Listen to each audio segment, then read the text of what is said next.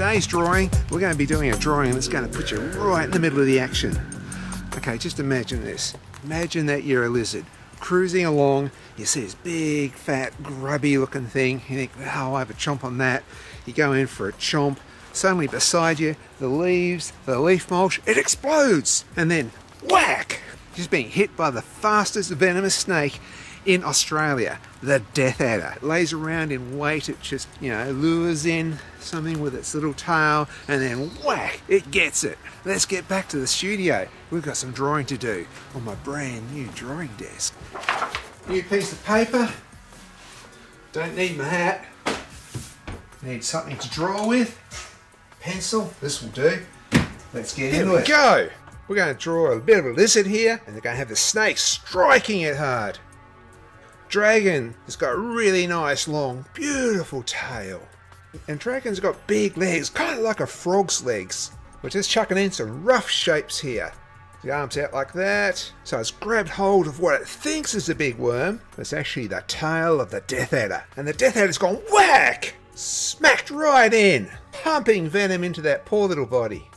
So we're just quickly roughing this through. We're going to make the body come around here and leaves are going to be flying everywhere. Boom! Whack!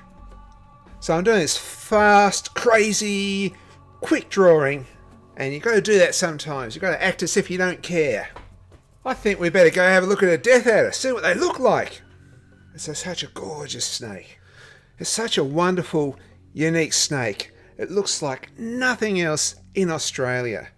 So here I am sketching this one here in New South Wales with a reptile bloke top bloke, reptile bloke. Check out his channel.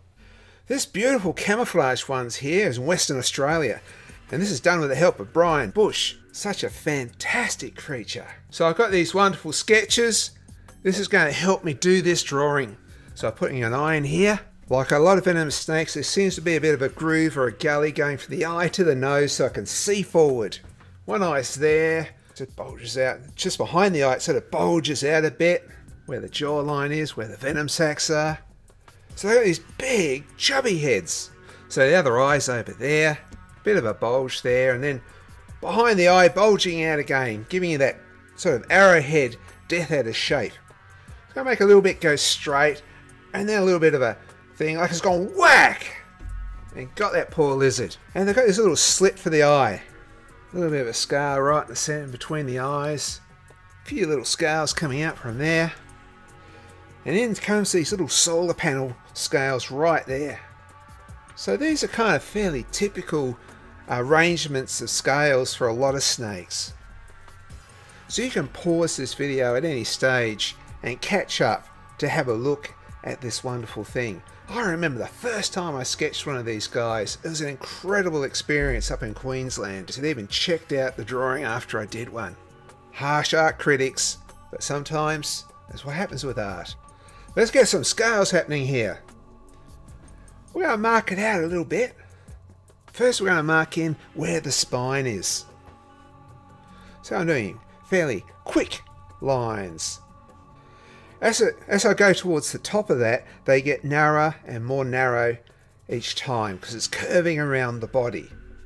But on the other side here, kind of same size, these are guidelines. And you've got to chuck down these guidelines to make this work. Now, if there's any part of this that doesn't work, just draw a leaf in front of it because these leaves are exploding everywhere. Now, popping in like a brick-like pattern. Sometimes when I do this, I sort of imagine a big sphinx or a big Egyptian structure that's made out of these amazing bricks in the shape of a snake. Wouldn't that be cool? So I'm going to speed up the video here because this is going to be boring. You can stop, pop in those bricks if that's what you're drawing. We're also going to chuck a pattern on this guy as well and that's going to disguise some of the scales so really you only have to get this half right. The rest is going to be hidden. It's the magic of drawing. So it's great action shot is going to be a little bit confusing so we're going to have to make some things stand out so we can see what's happening. So what's going to stand out is what I'm drawing now. The head, the neck, and the poor lizard copping a, a gutful of venom. So check out this, I'm doing a zigzag line, like connecting the bricks. Have a really close look at this. It's kind of fun. It's very therapeutic really, I kind of enjoy it. So this is an easy way of doing scales, or if you want to do honeycombs or fish or all kinds of things. A very handy little trick to do here. So I'm going to speed this up again because it's going to take way too long. But if you are actually drawing along, just pause the video, catch up, and see you on the other side of this. So because this neck is the main feature, this is probably the most important place to put these scales. And that's kind of why I'm sort of really putting a lot more effort into this here. We want to see really well.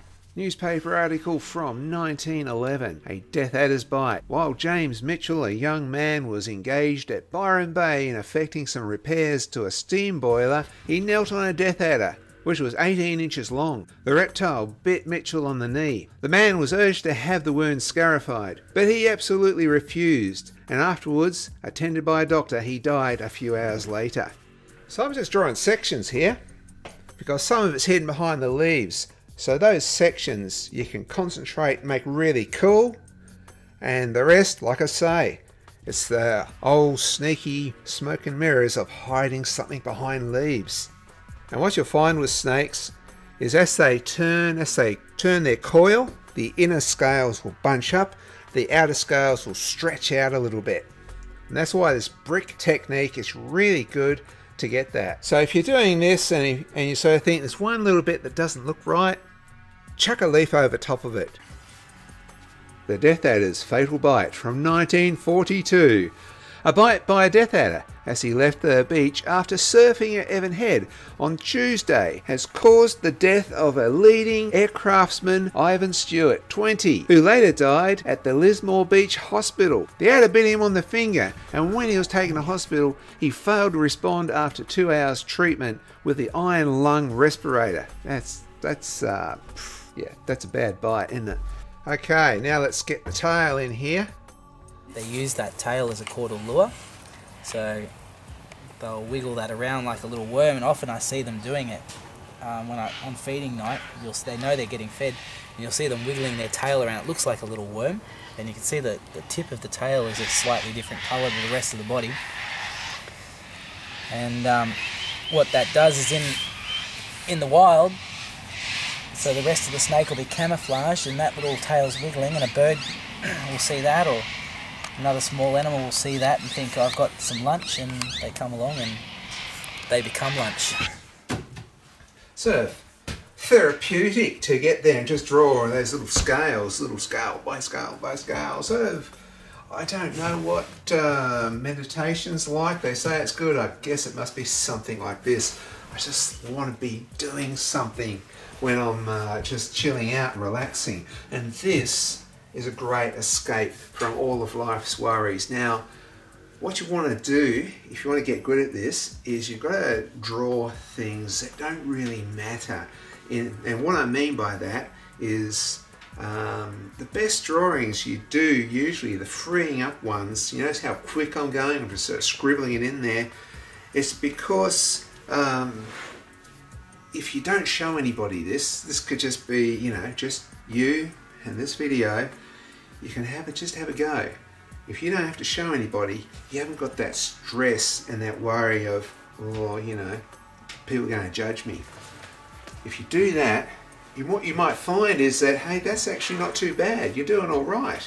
And it's because you've sort of taken that stress off. This should not be a stressful thing. This should be fun and exciting and an escape from, you know, from, from taxes, from bureaucrats, from school bullies, from you know the boss at work. You, you come home and you've got complete control over this page and you get to decide what you want to do on the page. That's the fun of drawing. Sorry, I went off on a little rant. Let's get back into this.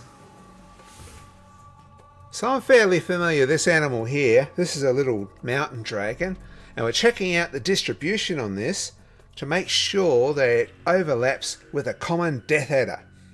So these guys would cross over, come across each other. It's quite possible that this poor lizard could end up as Tucker for a death adder. Chuck that to the side. I think I can draw a lizard just uh, out, of the, out of my head basically because I've caught a few of these guys before. Kind of a triangular head. What probably the only difference I've done from the first sketch is probably going to rough it up a few places. The photo was just enough to give me a good idea on how the little hands, the little fingers go. Where the death head is biting and it's pumping the venom in, it sort of squashed the poor lizard down a bit.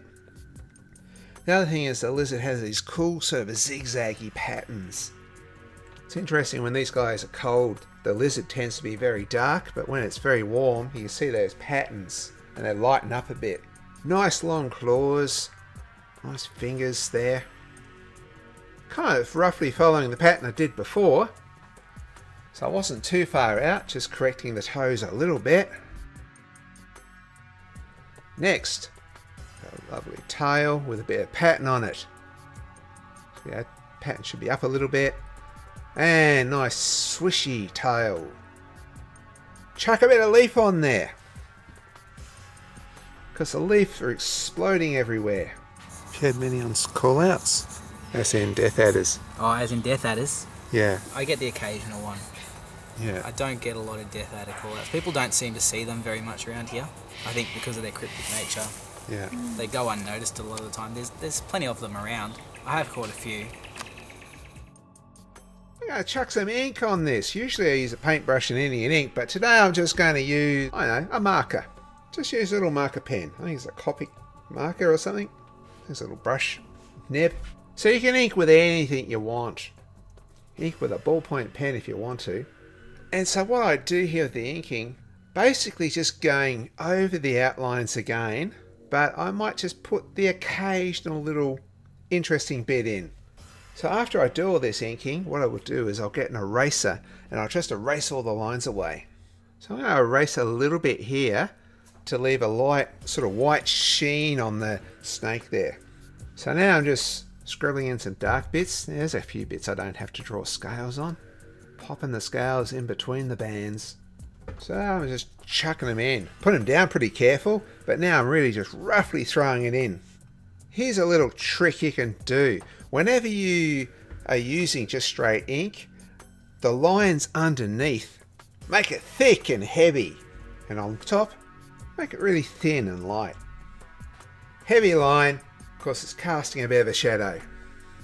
Where I've erased a bit there, where it goes up to the black, I might just put the scales in the black, but not any sort of shading on it.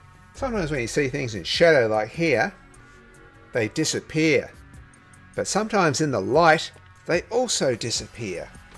So you see there's bits there that I'm not putting in. And sometimes you gotta persist with it.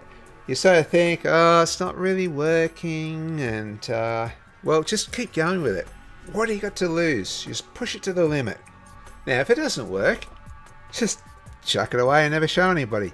No harm done, and you've done some exercise. But if it does work, sometimes it shows shows that you're not as bad as you think you are. Sometimes it's about seeing it through to the end and not giving up. So we're smashing through this now. Let's just uh, speed up a bit here. Put a little bit of shade there on the light part. Couple of lines. And I'm going to chuck some leaves on there. Nice organic shapes. Yes, chuck a little twig in there. Why not? Yeah, maybe put some tiny little gum nuts on there. It's a good Aussie snake. So we're chucking in some serious leaf mulch here with lots of eucalyptus trees or gum trees. And considering how small the snake is, we would put some big gum leaves in there to give it some scale. Oh, I think a stick insect's taking a big chunk out of that leaf.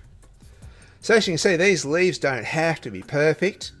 Of dash, dash, dash shade on that one. Chuck some more scales in there.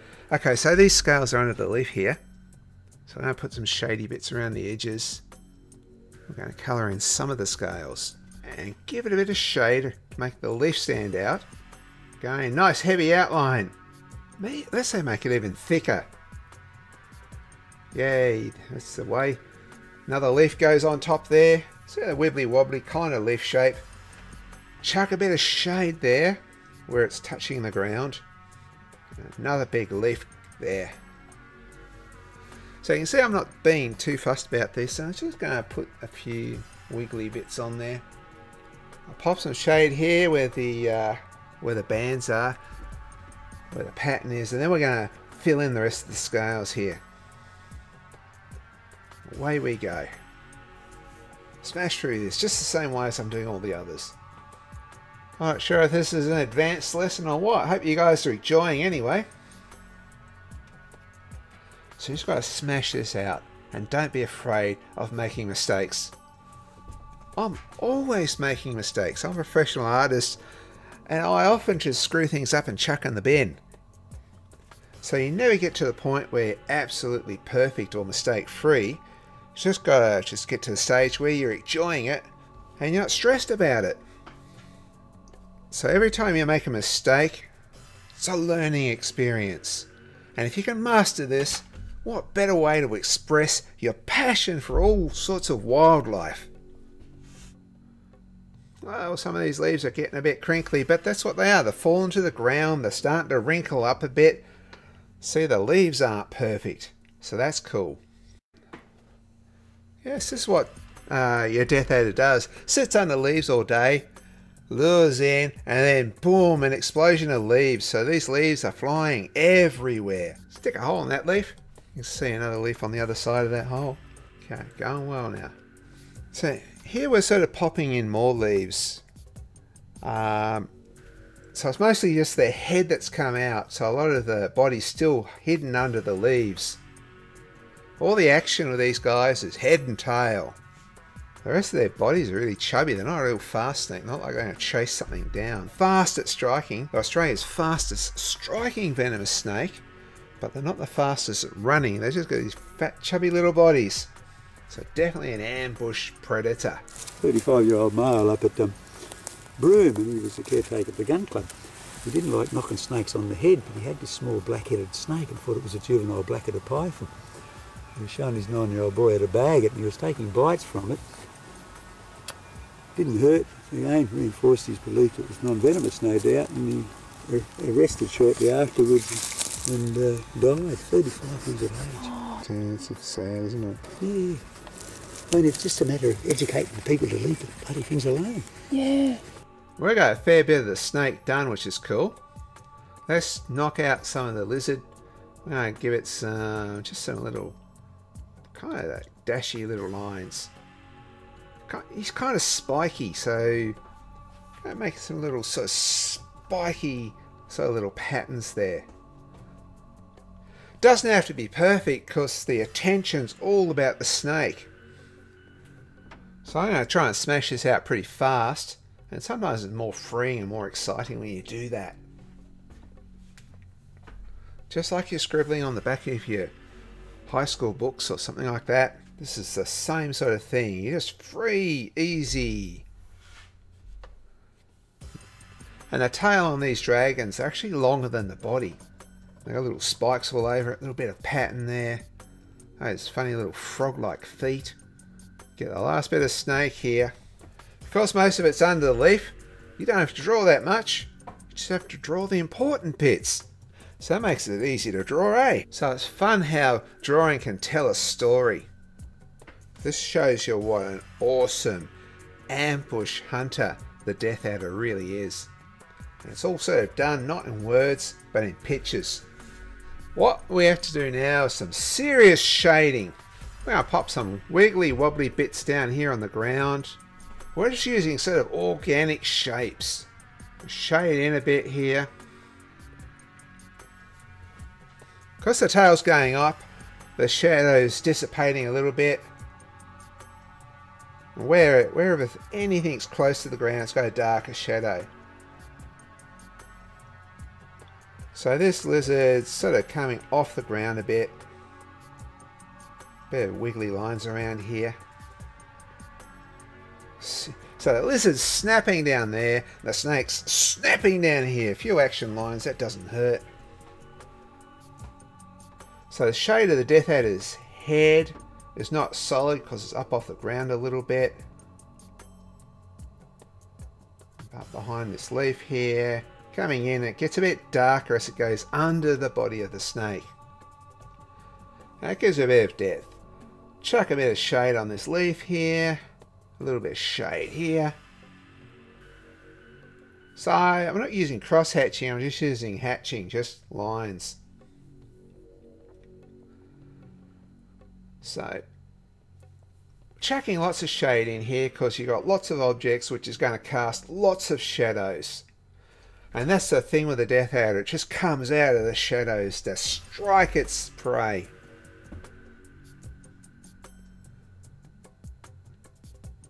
Under each leaf a little bit of shade's cool. And that brings out the leaf that's in front, the foreground leaf. That one's just whizzing in the air, that one. Casting a shadow way over here, I think. I'll put some sort of wiggly pop pop sort of lines on there. These are little organic shapes that you can just sort of chuck on just to make it look a bit like the rough gnarly old leaves. They've been laying on the ground for a while, so of course they're gnarly. Oh, there's a little pebble up there, a little bit of something up there. And that's a great thing. You're drawing something which is not perfect. So it's cool, you can relax. But it's all, see the shading here, this is what it's about. Get the shading right, and it's kind of cool. Gives it a bit more dimension. Might have to chuck a few more leaves here because doesn't look like there's enough to hide a Death Adder in there. Bit of shade there, pushing it back. Got some little leaves there, so I might chuck another couple of little leaves here. So they look like a bit like an explosion coming out. This one from 1939 is a gnarly one. Survived a Death Adder bite. When Rosario Sorbello, 9, was bitten by a death adder on his father's farm on Thursday, September 14, the father, having no knife with him, immediately bit a piece completely out and, and dashed the child to the hospital where he is progressing favourably. Without a doubt, the prompt action of the father saved the boy's life, is the opinion of the medical superintendent. The Death Adder escaped. Lucky Death Adder. I tell you what, that's some interesting fathering right there. hold still, son. It's going to bite a chunk out of you. So I'm just sort of wiggly lines here. I'm kind of making it up as I go along. I'm just guessing. So some of these lines are a little bit curved. They sort of follow the shape of this. And like I said, it's a good one to do because you can't really get leaves wrong. It's good to practice. And if the whole thing doesn't work, just remember the next one's going to be better because you've had this much more practice. I think we're almost there. So here's this nice, quick action scene of the Death Adder having its lunch. And all you gotta do now is grab the eraser. A couple little lines up here. We're gonna grab the eraser and we're gonna do some serious erasing. Oh, these big old white erasers. Once you erase the pencil lines, you can see it a bit better and you got this nice ink drawing. I kind of like the ink drawings because it reminds me more of a comic book. And let's face it, comic books are way much more fun to read than uh, maths books. Oh, sorry, shouldn't say that. Now I've erased the line, I can just pop a few little bits in there. So a bit there. That's a bit of leaf. Some bits I don't know what's snake and what's leaf. It's just, you know, an explosion of craziness. This uh, marker pen's just about coming to the end of its life. It's gone further in the end, which is why I much prefer a paintbrush or a nib. So here we go. That is the Death Adder. It's the first video I've made in the new studio drawing the Death Adder. Hope you guys like this. Hope you like it so much you're going to subscribe. Or don't. It's not like I'm your dad or anything.